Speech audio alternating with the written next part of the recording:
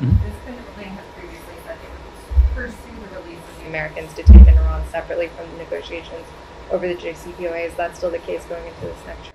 That's still the case, uh, and it's still the case for uh, one very simple reason. Uh, we have gone to Vienna to test the proposition as to whether we can achieve a mutual return to compliance with the JCPOA. Uh, the very fact that um, we would like to see this happen, but we are not sure if it can happen, uh, suggests to us very strongly that the fates of these detained Americans uh, should not be tied uh, to an uncertain proposition, and that's a mutual return to compliance with the JCPOA. So even as we continue to see to it, uh, continue to test whether we can um, uh, affect a mutual return to compliance, uh, we are working um, nonstop to see to it uh, that these Americans can be reunited with their families, uh, in some cases uh, after years and years of separation. Why not make it a precondition, though, for a return to the JCPOA? Precisely because of what I said. Uh, the mutual return to compliance with the JCPOA is a very uncertain proposition.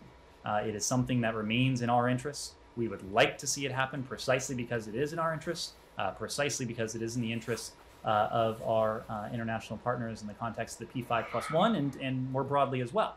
Uh, but because it is uncertain, uh, it uh, would not be prudent to tie the fates of Americans uh, to, um, uh, to this issue. We feel that by working these issues on parallel tracks, separate but parallel tracks, we, in an ideal world, will be in a position to achieve both a mutual return to compliance, even as we work uh, overtime uh, to return these Americans to their families as Sorry, soon can I as we quickly can. ask one more? Was there any discussion on the fates of these Americans while there was a hiatus on the JCPOA talks? Uh, we are in regular contact uh, with our partners. Uh, uh, we are in uh, regular contact um, on the issue of these uh, American detainees. Uh, I'm not going to uh, detail the form, the channel that that takes, but again, uh, we have no higher priority than the safety and security of Americans overseas, and of course, uh, that includes Americans who are unjustly held, as is the case uh, in Iran.